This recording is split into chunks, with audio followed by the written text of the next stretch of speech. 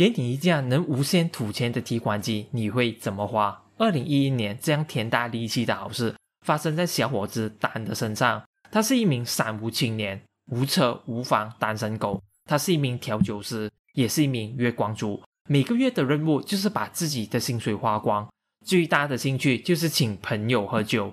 今天轮到他买单，付款的时候才发现自己钱不够。喝到醉醺醺的丹拿着银行卡到附近的 ATM 机提款，尴尬的是他的存款余额只有三澳元。作为朋友眼中最大方的兄弟，面子一定要撑住。他尝试从信用卡转两百块进银行卡，遗憾的是交易显示失败。然而他却看到自己的存款从三澳元变成两百零三，这难道是神明的安排？天无绝人之路。他成功取出两百块现金。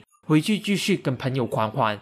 聚会散后，他越想越不对劲，再次回到那一台 ATM 机，尝试给自己转两千块澳币，结果交易显示失败，现金却能提款。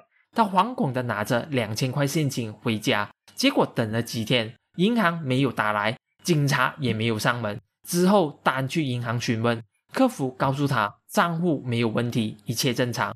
换句话说。利用信用卡和银行卡之间来回转账，单就能变成百万富翁。于是他转了两千又两千，拿着钱到处吃喝玩乐、购物 shopping。几天后，他摸出一套规律：只有在晚上十一点到凌晨一点之间，到这家银行操作转账，奇迹才会发生。掌握财富密码的单开始疯狂套现，放飞自我。他花钱给自己找了两个女友，然后用十万澳币包下一架私人飞机。带着朋友到度假小岛狂欢，他请朋友住上最好的酒店，请他们喝最贵的酒，想吃什么，想买什么，只要钱能买到的东西，他都毫不吝啬。兄弟想要创业，他出钱全力支持；兄弟欠大学贷款，他出钱帮他偿还；朋友想去法国留学，他出钱表示赞同。大家都非常好奇，为何他突然如此有钱？但诚实的说，自己捡到一架可以免费提款的 ATM 机。不过这样的鬼话没有人会相信，大家都认为他喝多了。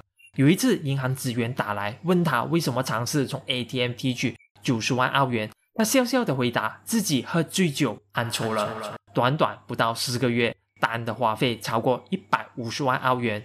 虽然他已经过上有钱人的生活，但他心中的焦虑却越来越严重。晚上经常会梦见被警察逮捕，从睡梦中惊醒。后来必须靠吃药和看心理医生才能勉强入眠。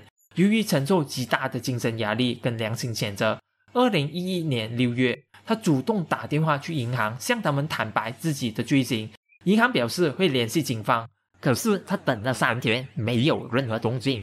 又过了三个月，银行仿佛忘记了这一件事，但不想再等，决定主动出击。他联系当地媒体，向记者讲述自己的离奇故事。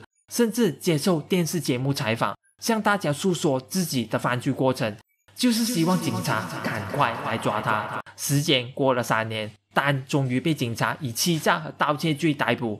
法庭审理的速度也很快，丹全部认罪，最后被判监禁一年，社会服务十八个月。如果给你发现银行系统这个漏洞，你会闷声发大财，还是通知银行？我是 T K，我们下期见。